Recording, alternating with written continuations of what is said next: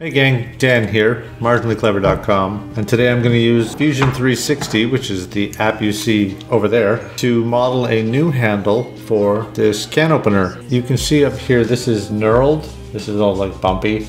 Let's see if we get that in focus. There we go, bumpy, right? And this piece is supposed to fit right onto here. And that knurling, it's pressed fit, so probably, you know, push really hard together until they stick. This spring to make sure that there's a good amount of grip. And, uh, and over time, from using this, the amount of friction inside here has worn out the hole. So I'm gonna make a design of this, and then I'm gonna send it to the 3D printer. And I guess you'll see the finished piece on Instagram if it hasn't been too long. You'll also see it at marginallyclever.com. The first thing I like to do is to draw it out. My measuring tool, my pen, my paper, my part. By measuring this out, we're gonna spend a lot less time in the computer screwing around and, and mucking it up.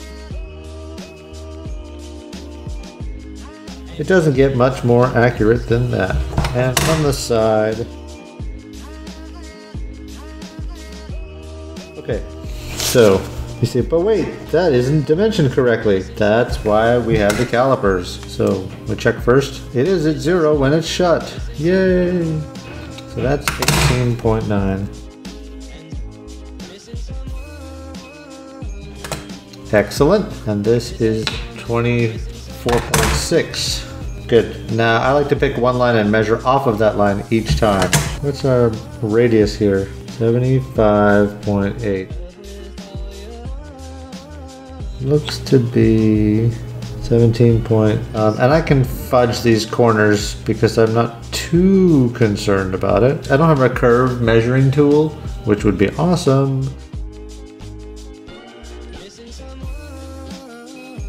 Okay gang so I've drawn these dimensions. We've got this top view we got the side view and we got the cross section from point A here. And remember this 75.8 is actually a circle because these are awkward. Now, we're gonna go ahead and whip that up as quick as we can. And a bigger old rectangle here that is 17.3 on this dimension and unknown on the other. Circle please, make it tangent, give me a construction line, doesn't matter how long it is, it just matters that this to this is our measured 20. Aha, there. So it smashed that circle down to nothing, which was surprising. Uh, I want an arc. I want a three-point arc. If you put down a line and you didn't mean it to be a construction line, you just hit X. You can turn the construction system on and off. And the moment I selected away from that line, it thinks my default state is construction on. So I gotta watch for that. That's a tangent.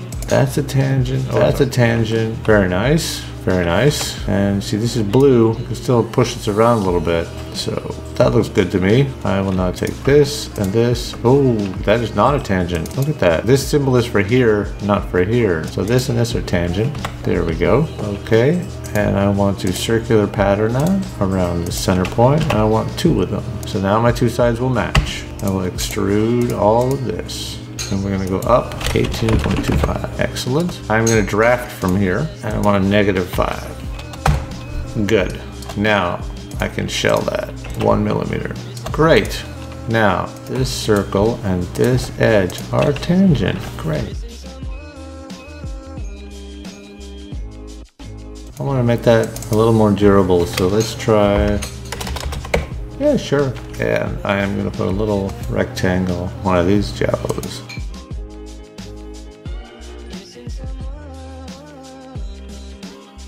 24.6, 24.6, and I can go back and fix that, make that a new body. Extrude this and go up 9. Okay, now extrude this and go up 9 as well. Because that is separate, I can pattern that around the center. Yeah, this tube is sticking out of this shape, so I'm going to cut it along this plane. So it said extend splitting tool, so even though this matches up almost perfectly right here, it's not going to leave this hanging off of the other part. This is now officially a separate unit. And I can remove that, and I can remove that, not delete. Delete is totally different, don't do that. I may have to do it again down here. Yeah, it's sticking out for there. So take this part, I cut it with this edge, and then I can remove this And now everything lines up smoothly and I can select everything and combine. Okay, so we've got this drafted on the outside and we've got our interior pieces. And now I think we just need a little smoothing on this edge, the fillet that I mentioned at the start. Let's say a two millimeter fillet. I'm very curious why on the ends here it gets mad. Let's go back to our original sketch. We'll fix that. Good. That's one outline now, yeah? And you see that weirdo thing that was happening in the corners is gone. That's what I want to see. I know that if I do a 0.5 like this, and then I do a section analysis, and I pull this a little bit, you can see in the corners here, it could be a little bit bigger, right? To make the wall thickness even all the way around.